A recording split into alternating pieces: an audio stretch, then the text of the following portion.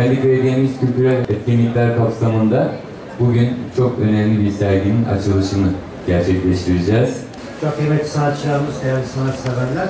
Bugün de bu salonda gerçekten bizim geleneğimiz açısından tarihçesi bir temel taşı, bir mihenk taşı olan klasik sanatlarımızla ilgili bir karma sergi, sergiye eser taşı.